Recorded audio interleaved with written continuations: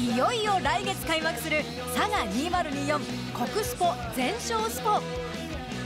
国体が国スポへと名称を変える記念すべき大会です。今日はこの大会で活躍が期待される地元の選手をご紹介します。今日は全勝スポの競技ボッチャです、えー、皆さん真剣な表情で練習されています。ボッチャは6球ずつボールを投げてジャックボールにいかに近づけるかを競う地上のカーリングとも呼ばれるスポーツです。最終的に白いジャックボールに近いボールの数が得点となります。佐賀2024全勝スポでの活躍が期待されるのは陣内敦子選手。全勝スポのボッチャ競技では立位と座位のペアで戦います。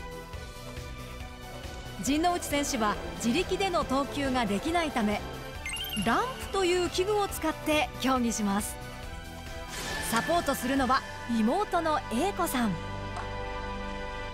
陣内選手にこれからですね技を見せていただこうと思うんですが。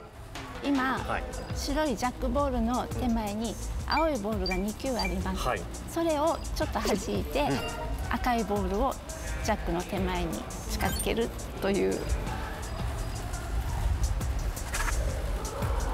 お素晴らしい。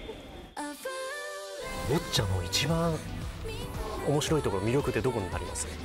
自分が勝ってても最後の1球で相手のボールを押してしまって相手が勝ったり最後の最後までどちらが勝つかわからないっていう面白さに魅力を感じます。